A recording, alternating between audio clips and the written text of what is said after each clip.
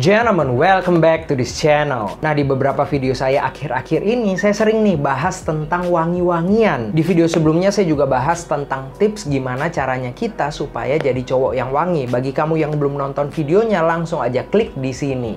Nah, di dalam video kali ini saya pengen in-depth review nih satu parfum yang menurut saya itu unik banget. Yes, gentlemen, di dalam video kali ini saya akan review I Lovat Find You The Perfume. Nah, apa yang unik dari parfum ini dan apa yang saya suka dari parfum ini, langsung aja kita review bareng-bareng.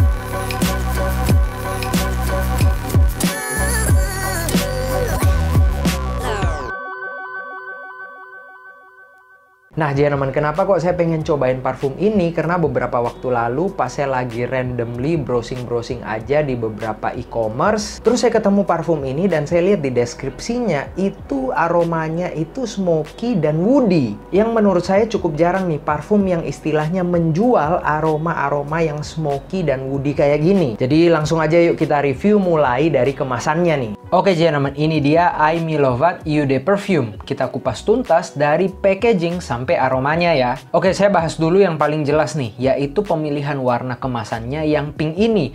Memang sangat memberi kesan bahwa ini parfum cewek ya. Tapi sebenarnya kalau dari aromanya, parfum ini juga cocok untuk cowok. Tapi memang betul kalau misalnya aja pemilihan warnanya lebih netral kayak warna biru muda atau misalnya warna krem gitu, mungkin lebih oke. Tapi nggak masalah sih karena value parfum yang utamakan di aromanya. Untuk kemasan boxnya ini cukup oke okay ya menurut saya. Bukan sekedar box asal-asalan tapi mereka pakai yang proper gitu yang ada emboss-embossnya gini.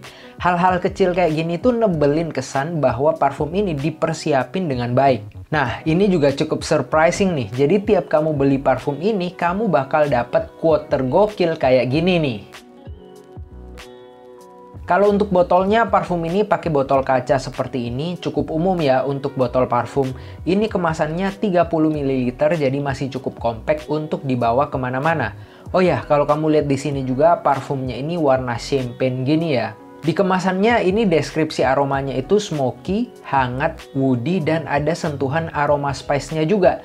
Ini kalau dari deskripsinya sih menurut saya memang cocok juga untuk aroma cowok, tapi kita cobain aja langsung. Ya menurut saya aroma parfum ini sesuai sama deskripsinya ya, kayak smoky, spicy, earthy, vanilla-vanilla gitulah. Nah kalau kita cobain lagi, ini aromanya itu sebenarnya masih ada kayak sweet-sweetnya gitu, tapi bukan sweet yang terlalu floral, itu lebih sweet kayak fresh-fresh gitulah. Dan ditutup tentunya dengan aroma yang warm, yang hangat, dan yang kesannya itu eksotis. Jadi ya menurut saya aroma parfum ini tuh cukup unik sih. Jadi kalau kamu pakai itu bisa membuat orang lain yang mencium aroma parfum kamu ini itu bisa tertarik dan penasaran. Kalau untuk notesnya menurut saya sih aroma parfum ini dibuka dengan aroma cloves dan pink pepper yang kasih kesan spicy dan juga orange blossom yang segar dan manis. Diikuti aroma chestnut, kayu guayak dan juga juniper yang hangat dan memberikan kesan woody-woody gitu. Ditutup dengan aroma vanilla yang manis dan hangat, balsam Peru yang eksotis, serta kasmeran yang eksotis dan sensual juga. Menurut saya parfum ini cocok banget kamu pakai untuk daily activity kamu kayak kuliah atau kerja.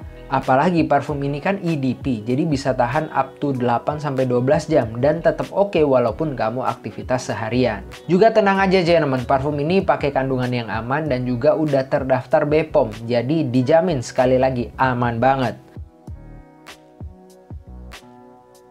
Langsung aja yuk gentlemen cek Instagram Aimilovat dan juga official store mereka yang linknya semuanya ada di deskripsi. Biar kamu nggak ketinggalan promo-promonya dan bisa cobain parfum yang unik banget ini.